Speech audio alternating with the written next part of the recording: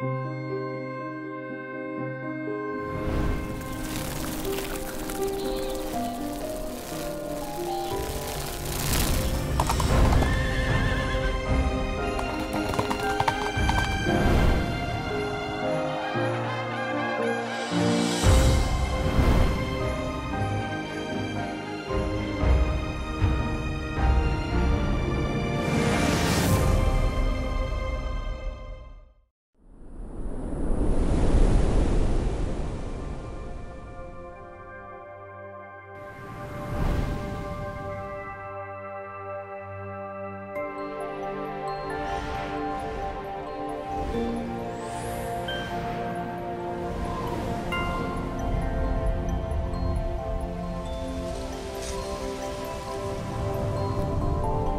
Los matices de la tinta surgen de la espontaneidad. Estos pueden materializarse como acantilados escarpados o en infinitas cadenas montañosas. De esta forma, el pincel retrata las maravillas y grandezas del cosmos gracias a la inspiración creativa del artista. Los sonidos de los humanos en el valle atraen a los viajeros que recorren el camino llegan a una cabaña donde juegan los niños y luego se sientan a beber vino. La fragancia del vino flota en el bosque mientras los viajeros admiran el maravilloso paisaje. La infinita extensión del Monte Juá está plasmado en este cuadro con increíbles detalles y alcances.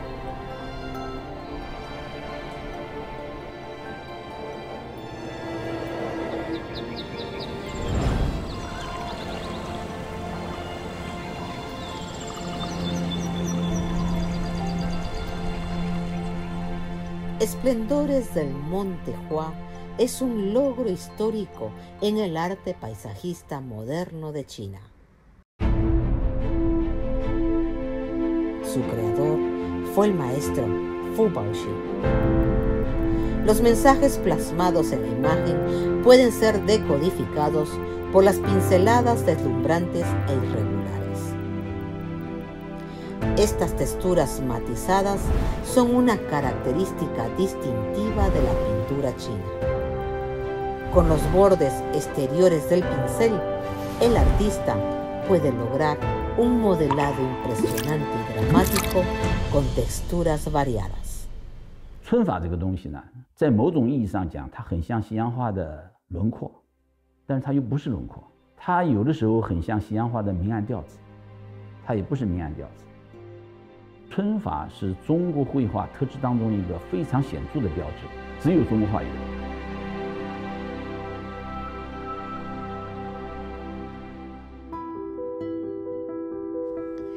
Esta pintura en particular presenta un enfoque altamente individualizado de composición. Tras disolver la tinta de la brocha agrupada en el papel, van apareciendo una serie de tuenes filamentos a medida que la tinta va esparciéndose. Los trazos dramáticos son casi palpables, laten con vigor. Aquí el pincel acaricia el papel de arroz para crear vívidos modelados y sombreados. Esto le da a la imagen una profundidad conmovedora. 这幅画呢，带有傅抱石先生很典型的抱石村的基本面貌，就是高山仰止。他是把我们传统的攒锋笔法加以发挥，形成他一个个人标志性的符号。Este estilo único surgió por primera vez hace más de ocho décadas, cuando la nación china estaba en peligro, sumergida en la guerra contra la agresión japonesa. Precisamente fue durante la agresión japonesa en los años 40 del siglo XX que Fu Baoxi deja la provincia de Jiangxi y se instala en la ciudad de Chongqing, respondiendo así al llamado del renombrado escritor y político Guo Moro, quien exhortaba a los artistas a movilizar a las masas en defensa de la nación china.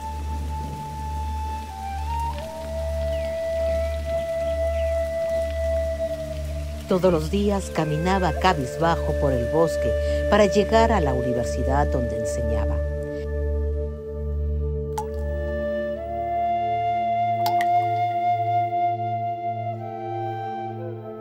El magnífico y exuberante paisaje fue una fuente de inspiración y de fortaleza para el artista, quien, dolido por el sufrimiento de su pueblo, no dejaba de preguntarse qué podía hacer un profesor de bellas artes para ayudar a su patria.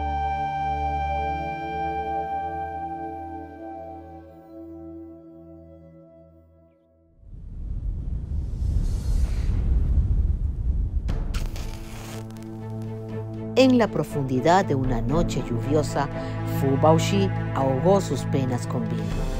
La indignación contra los invasores extranjeros y el amor por su patria lo llevaron a tomar sus pinceles para exteriorizar todo lo que sentía. Golpeó vigorosamente la brocha cónica contra el papel con una presión y un impacto que estaban intensificados por el dolor que sentía. Esto marcó el nacimiento de su propio estilo de arruga de Bouchy.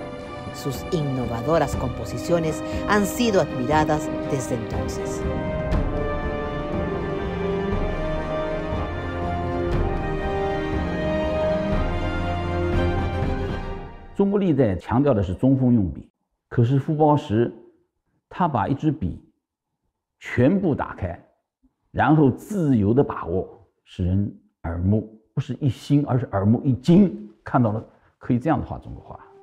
La exposición de pinturas de Fu Baoxi en 1942 dejó atónito al público espectador.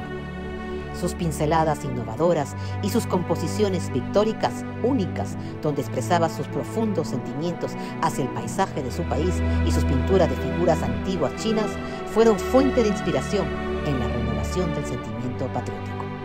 这些画里面体现出了一种生机，啊， 这种生机就是中国人的一种生命力。对于外侵，对于任何的不利于我们的，在生命力面前呢，它都是渺小的。所以，它也是唤醒我们的民众的一种精神。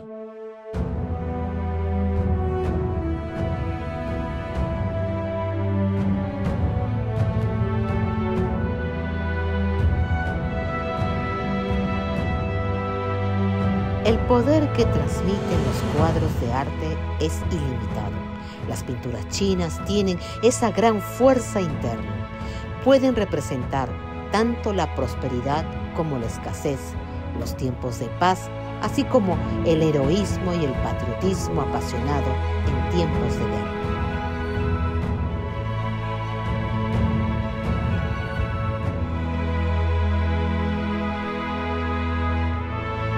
Una década más tarde surgía la nueva China y Fu Baoxi adaptó su estilo de pintura. Dejó de seguir la línea de los grandes pintores de la tradicional pintura china para perfeccionar su nuevo estilo de pintura paisajista llamado la arruga de Baoxi, basándose en la arruga del pelo del ganado de Wang Meng de la dinastía Yuan.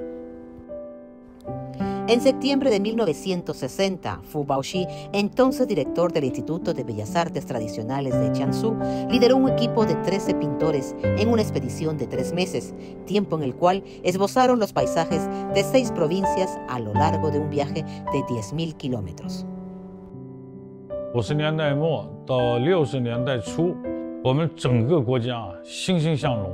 那么这些画家呢，都在思考一个问题。 就是中国画在过去的传统的基础上，如何表现我们取得辉煌成就的新时代。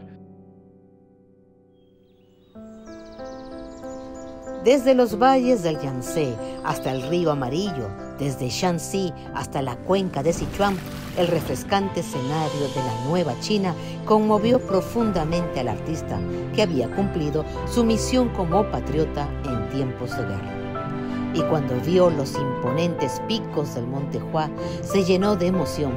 Pero lo que le tocó el corazón esta vez no fue la triste llovizna de Chongqing en tiempos de guerra, sino una inconmensurable sensación de orgullo por su próspera y pujante patria.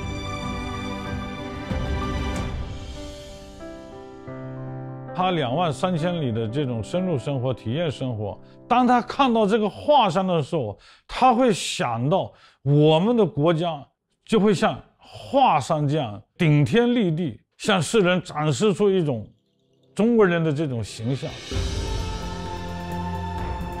Abrigando estos sentimientos, Fu Baoshi tomó su pincel. Mirando estas rocas amorfas, el espectador casi puede escuchar el susurro de las pinceladas en el momento de la creación. El espíritu del artista perdura en sus cuadros y en este escenario animado de naturaleza y humanidad.